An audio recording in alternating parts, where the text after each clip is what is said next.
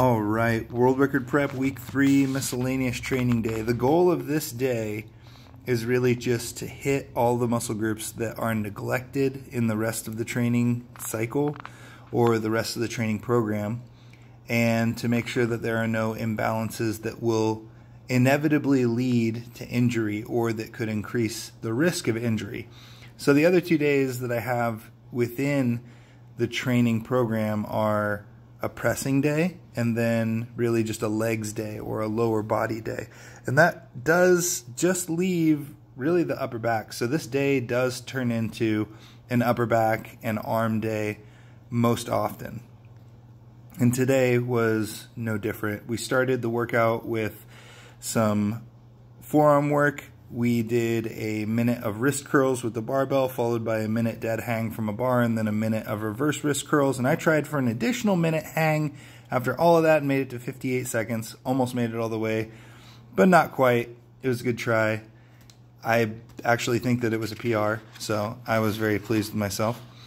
Uh, Christian did join me on this day, and it was quite fun uh, having a workout partner for this workout. It is very much kind of a you know, it does have a serious note to it, and it does have a aggressive pace. We are supersetting two movements, and the first movement is always a, uh, you know, a latissimus dorsi focused movement where we're trying to really engage the lats most and leave the biceps out of it, and then we come in with a bicep exercise, at least for the first two supersets, and uh, you know, we're we're taking three to four minutes between supersets. We're doing three of these supersets per grouping of exercises, and that does get to be quite fatiguing towards the end of the workout. And it's fun to do that with someone else and uh, have a have a good pace and get to train and swap some training ideology uh, between sets and as, as well as some banter, of course.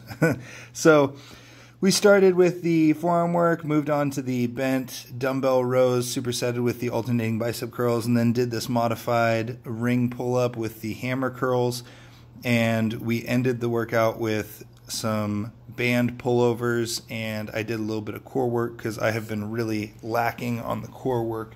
And and you'll see that in a minute. But right now, I'm just looking at the way Christian's doing it, and I'm I'm given some thoughts on how I like to activate my lats and how I like to pull the rings apart in this movement and really focus on where my elbows are going, driving the elbows down. I also like to uh, supinate my hands slightly. So I noticed that his hands were extremely pronated, and I was telling him that if you bring the palms towards each other just a little bit, it can help to engage the lats more effectively, at least in my experience. So.